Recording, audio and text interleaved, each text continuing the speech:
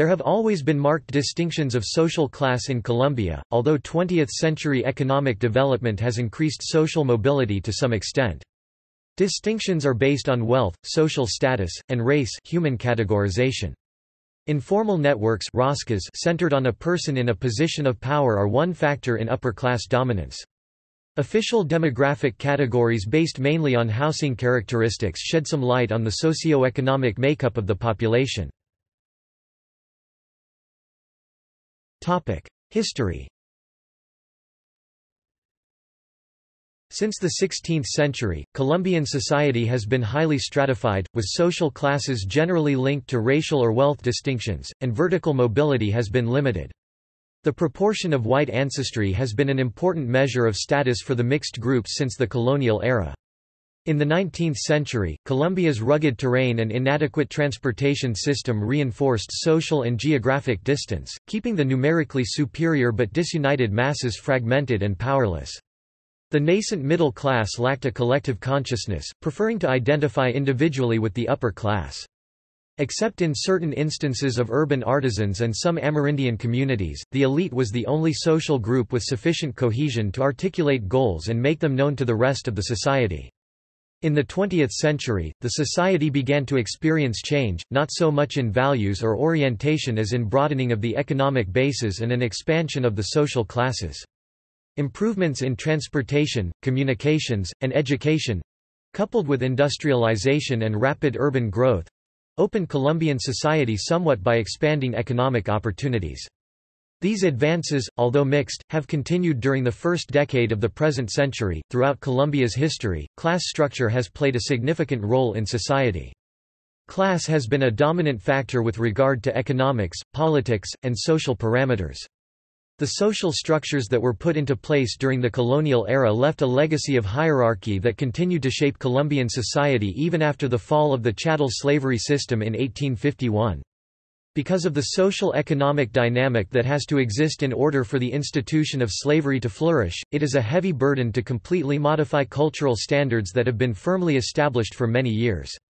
There are patterns that develop along with certain behaviors in how those in power interact with those that have little or no control. In Colombia, this means that whites who have held power since the 16th century exercised control over the indigenous population as well as those imported from Africa.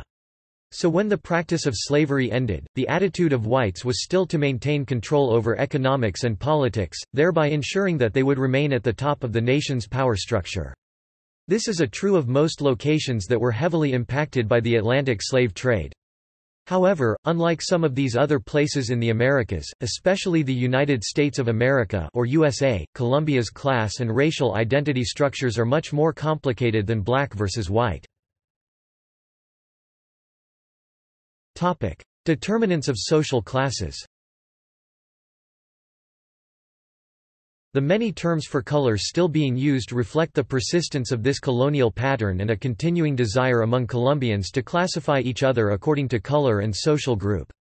These terms also cut across class lines so that persons at one level define themselves as being racially similar to those at other levels. The confusion over classification has affected most Colombians because most of them do not define themselves as being white, black, or Amerindian, which are distinct and mutually exclusive groups, but as belonging to one of the mixed categories. In addition to racial and wealth factors, Colombia's classes are distinguished by education, family background, lifestyle, occupation, power, and geographic residence. Because of the large proportion of the population who identify as mixed blood either mestizo or Afro-Colombian it is widely accepted that race is not an issue in Colombia. This was by design, as the Colombian government sought to phase out racial dimensions with the use of mestizaje. This was a purposeful intermixing of Africans and natives with white Spaniards in efforts at creating a new race. This was not completely effective, as division among Colombia's elite, middle, and lower class is directly related to racial concepts. In effect, darker skin Afro and native is associated with lower social status, moving up the status chain means that whiteness becomes more pronounced. While this is not the dynamic faced in a place like the U.S., where any African blood immediately placed one at the bottom of the social and economic food chain, racial division is still a part of everyday life in Colombia. The difference with Colombia is that there were never any systematic legal designations put in place in order to divide society along racial lines like the Jim Crow system of the U.S. in Colombia. The division is ingrained in the culture, especially with regard to economic opportunity and education. In fact, whiteness in Colombia has been the goal of society since the mid-19th century, when trends towards identifying with European culture instead of indigenous or mestizo became popular. This included encouraging those of indigenous or mestizo blood to aspire to climb up the social ladder by becoming more European in dress, occupation, and manners. In essence, the more that those of color sought to align themselves with white or European culture, the more opportunities to advance both economically and socially were given. However, conservative factions regained control of Colombian politics in 1885, effectively erasing some of the gains that women had made socially such as the right to divorce. This caused women to be placed back into traditional roles as private and invisible members of society once again, limiting the growth of women's rights and returning them to pre-revolution gender roles whereby men had absolute control. In fact, women a proper education for women was one that reinforced traditional roles for women of being a homemaker and mother. In this regard, education was not used a vehicle to uplift women and help them to gain power in society structures, but instead to emphasize that women were to be a support mechanism for males and nothing more. This attitude towards the advancement of women was intended to keep women in a box rather than to see them becomes leaders outside the home, whereby they would be taking over power from males in authority positions. Class characteristics The upper class is very successful in maintaining exclusivity and controlling change through a system of informal decision-making groups called roscas—the name of a twisted pastry. Such groups exist at different levels and across different spheres and are linked hierarchically by personal relationships. Their composition varies according to level—municipal, departmental, or national—but each group tries to include at least one powerful person from every sphere. A is a vitally important system in both the social and the political context because it is at this level of interaction that most political decisions are made and careers determined. Only as a member of such a group can an individual be considered a member of the upper middle or upper class. Indeed, the listed names of past presidents reflect how power has remained the purview of a small number of elite families instead of a meritocracy. Colombia has an abundance of families that belong to the middle class sector of society and are struggling between the need to survive and the desire to give their children a good education. The lower middle class, constituting the bulk of the middle class, comes primarily from upwardly mobile members of the lower class. A large number are clerks or small shopkeepers. Many have only a precarious hold on middle-class status and tend to be less concerned with imitating upper-class culture and behavior than with making enough money to sustain a middle-class lifestyle.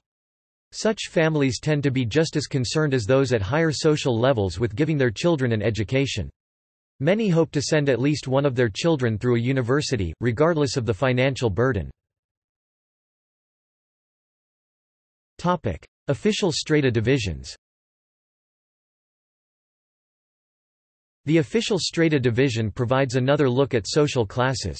A 1994 law provides an instrument that allows a municipality or district to classify its population in distinct groups or strata with similar social and economic characteristics. The law was framed this way to establish cross-class subsidies that would help those in the lower strata pay for utilities. Housing characteristics, such as a garage, a front yard, and quality of the neighborhood, are the main criteria used. Depending on the diversity and quality of housing, there could be six strata, level 1 is lower low, 2 is low, 3 is upper low, 4 is medium, 5 is medium high, and 6 is high. Most cities have all six, but there are towns that have only three. This national classification identifies groups with similar socio-economic characteristics. Although strata are not a direct reflection of social class, they provide useful information beyond income measures. The great majority of the population 89% lives in strata 1, 2, and 3, and on that basis, even if not by other criteria, is considered poor. Strata 4, 5, and 6 house only 6.5%, 1.9%, and 1.5% of the population, respectively. In other words, only about 10% of the population lives in dwellings that are well built and located in well developed neighborhoods with access to good utility services. The overlap between these official strata and social class is not perfect. It is possible to find very high income people living in stratum 3 and some stratum 6 residents who have strong affinity with the lower classes. There are several reasons for these coexisting disparities, the main one being perhaps the strong upward mobility allowed by the illegal drug industry wealth that did not necessarily lead to a change in self-perception.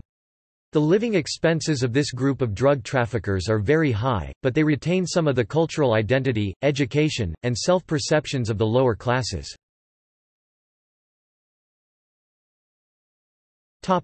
See also Race and ethnicity in Colombia Poverty in Colombia.